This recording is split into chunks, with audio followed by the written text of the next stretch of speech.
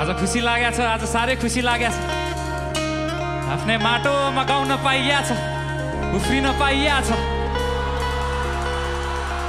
हामी आशा गर्छौँ यो ऊर्जा यो एकता सधैँ रहनेछ।